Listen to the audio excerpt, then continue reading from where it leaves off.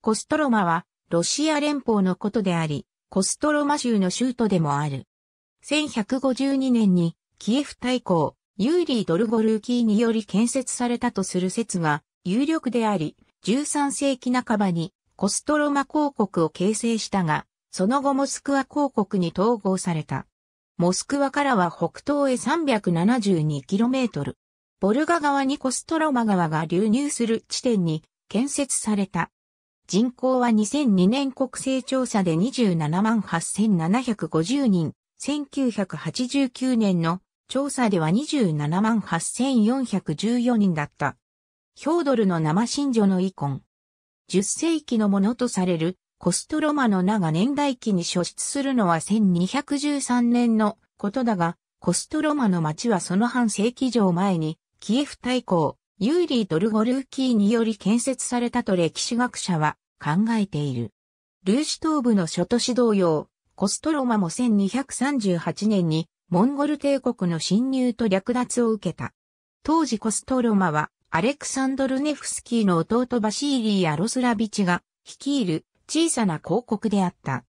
1271年にウラジーミル大公の地位を継いだバシーリーは、ウラジーミルの都へ移らず、コストロマに居続け、その子孫らがもう半世紀コストロマ公国を支配したが、モスクワ公イバン一世により併合された。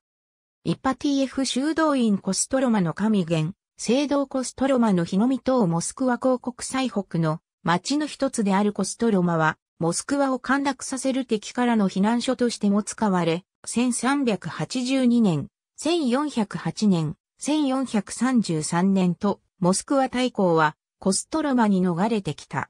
1375年には、ノブゴロドの河川族牛食いニキにより略奪されている。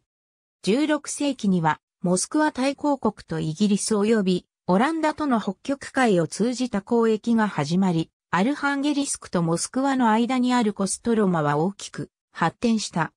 モスクワ大公、ボリス・ゴドノフはこの地方の下級貴族出身であり、その先祖はタタール人で14世紀初頭に有名なイパティエフ修道院の基礎を築いたという。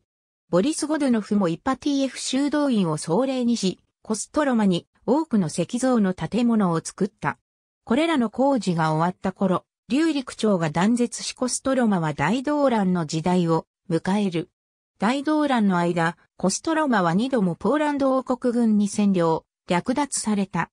イッパティエフ修道院に立てこもるポーランド兵の制圧と追放には6ヶ月もかかっている。コストロマの農民、イワン・スサーニンはこれらの戦いで英雄となり、外国軍の侵略に対する抵抗の象徴となった。後に、ツァーリとなるミハイル・ロマノフは、少年時代、イッパティエフ修道院に陰性しており、1612年にモスクワから来た死者からツァーリに衰退することを告げられた。1613年、彼はゼムスキー、ソボルでツァーリに選ばれる。こうして生まれたロマノフ朝の代々のツァーリがコストロマに特別な保護をするのは理解できる。イッパティエフ修道院は最後の皇帝、ニコライ2世に至るまで歴代皇帝が訪れた。ミハイル・ロマノフの住んでいた木の家は保存され、1652年にはイッパティエフ修道院に巨大なイタリ製三社大聖堂を再建した。そのフレスコ壁画やイコノスタシスは美しさで知られている。